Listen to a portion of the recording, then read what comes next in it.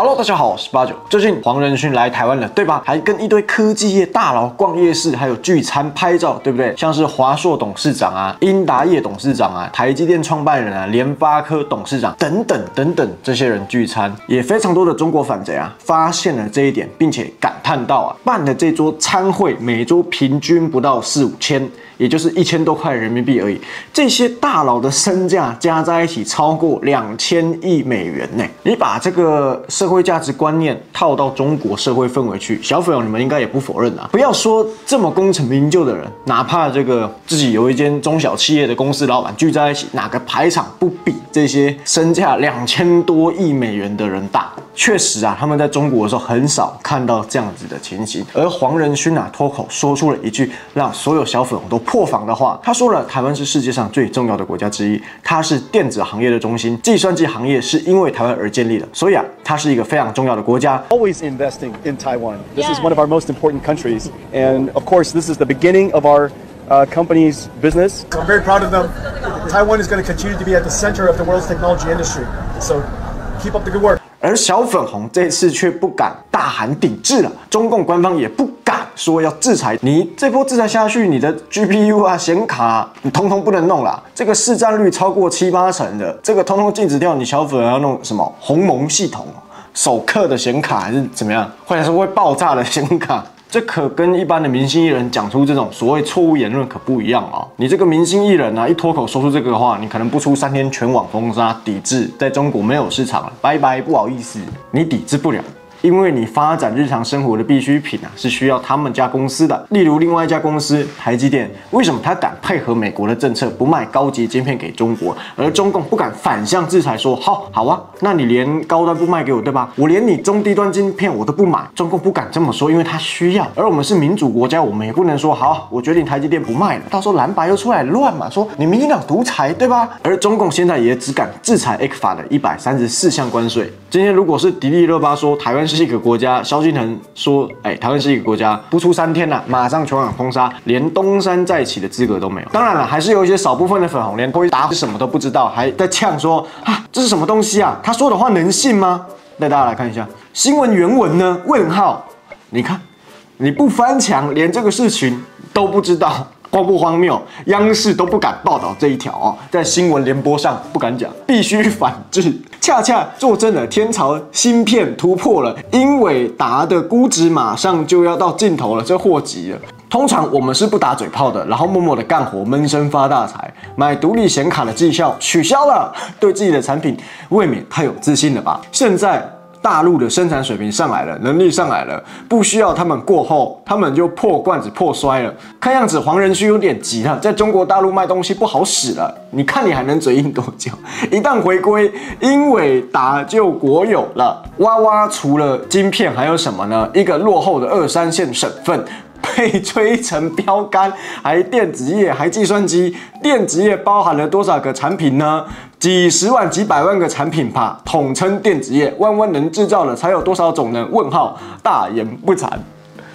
你看这个粉红，就是没有见过世面。你们知道中国的 GDP 台商占比占比的几趴？你粉红是认为你跟黄仁勋比起来，你看的比他多，对吧？所以你否定他的言论。比如说这个经济学人跟黄新闻，当然是黄新闻比较客观了，黄新闻比较公正。粉红大概就是这一类的逻辑哈。黄仁勋是什么？我说了才算。然后下面还有一个粉红更好笑，他说黄仁勋真的有这么说吗？如果他说台湾是一个国家，怎么会没有新闻来源呢？就一个博主简单几句话就可以颠覆一个人在网络上引起轩然大波吗？大部分的网民是非理性的，没有基本判断能力的是非。黄仁勋到底有没有说这样的话呢？如果有的话，新闻早就铺天盖地了，容不得你这种不知名的博主造谣。这个就是资讯差的产物。黄仁勋有没有说？我相信全世界除了小粉红之外，大家都知道有哦。有小粉红说我不买了，我不要买了。但是你们知道吗？去年的时候啊，英达伟和其他制造商就已经说了，我无法再向中国出口 RTX 四零九零的晶片，你们这些显卡我通通都不卖了。但是低端的我可以卖。你们这一波库存呐，先前出货给你的，如果卖完了，就真的卖完了，除非你从这个第三方的管道。拿来那当然会更贵。而去年这个消息一出来的时候，中国各大小的商店都在炒作这个显卡的价钱，对吧？去年炒四零七零、四零八零，现在四零九零，这三款小粉红的商家都在炒作。去年我还做过相关的影片呢，所以这不是说抵制不抵制的问题，是人家不想要卖给你啊。而在中共军演的前一天，五月二十二号，靠近菲律宾跟台湾海域的中间啊，中国有一架无人机坠海了，而中共官方第一时间就给出了坐标位置，并且指出啊，这是民用海洋环境和地磁测量的无人机，而。这个消息哎，都是默默的报道，在我中共的海事网站报道，微博跟央视并没有说哦，中共无人机坠海了，没有。你说网络上现在有几个人知道？很少哦。所以搞不搞笑？怎么军演的前一天呢？联合启瑞号这个拖船呐，沉船之外，还有一架无人机也坠海。美国报道啊，在五月二十九号也证实了，五月二十二号当天中共确实有无人机坠海，而美国也立刻派出了探勘队伍，并带上了加油飞机去寻找。中共的无人机，所以可见这不是中共自己说的民用这么简单，对吧？肯定是军用伪装成民用，不然美国也不会派出侦察队跟加油飞机。加油飞机就是要续航，因为你搜救是需要耗费大量的油料、油燃料，对吧？那当然啦，还有另外一种猜测，中共为什么敢给出坐标呢？因为坠机是真实的，但是坠机的位置可能是中共乱给的。来误导美国，那看来中共以后，我觉得你们还是减少军演好了。你看一军演啊，三 D 动画军队一出啊。股票大跌，飞机坠海，船也沉了，搞得像台湾在对你军演一样，对吧？还有这个 F 十六 V 锁定你们的歼十六，还有轰六，你们的这个反侦察能力跟电子干扰我们侦察你能力，通通失效哎。而川普前几天不是说，在他执政之下，中共如果敢打台湾的话呢，我就炸你北京吗？那这个消息昨天被中共国防部发言人痛骂，嗨，川普这个言论啊，非常的丧心病狂。那除此之外，还有一名中国爱国学者，我相信频道的老观众应该不陌生啊，当初这。这个人呐，还被台湾驱赶出境。他是谁？是武统大师李毅。他现在被欠薪快一年了哈，每个月还要跟高达八十九岁年迈的老母亲讨要生活费。而他自称是被当地广东的黑恶势力给打压，看来真是求人得人啊。他也曾经说过啊，要中国牺牲一亿多的人口啊，拿下台湾也没关系。如果中共二十天内打不下台湾，那这个政权呐，干脆灭亡好了，习近平下台好了。你看李毅多次妄议中央，要求。求解放军、中共中央打台湾，而李毅也知道打台湾要付出惨痛的代价，不是像那些打螺丝的粉红一样张口就来，哎，一颗导弹下去，哎，解放军赢了，人家是真的有做功课。而这样的爱国学者怎么会被欠薪呢？怎么不受中共的重用，反而停职了呢？问题就在李毅他是极端的激进派，而中共要不要打台湾呢？圣上自有定夺，所以我们才叫做妄议中央，对吧？你天天在呛我要打，我要打，牺牲一切。对吧？那我不打，你们又说我口嗨。我现在要打的，问题是我还准备不足啊。那我总不能说出来说我准备不足吧？那我说出来，敌人获取我的情报的资讯不就更容易了？那打了肯定是失败嘛。我说现阶段哈，那你李毅明明就知道我现在能力不足，你还天天宣扬武统，你是不是想要借用武统台湾，然后发动政变，让你支持的那一派势力呀，可以控制中共中央的政权，让习近平下台？有这个可能呐。虽然你李毅的言论都是爱党爱国。又是一个武统爱国大师学者，那我确实也不方便啊，把你当做一般的粉红那样铁拳干掉。所以中共不能直接明着来对李毅，只能暗着来嘛，停发你工资啊，然后挑起一些你们这个阶级的社会矛盾啊，然后找黑社会搞你啊。但事实上就是中共找人断你财路嘛，让你少说话。讲难听一点，我是不是也常常呼吁粉红要去天安门抗议啊、游行啊，呼吁中共赶快发兵打台湾，对吧？搞个活动露脸拍片嘛。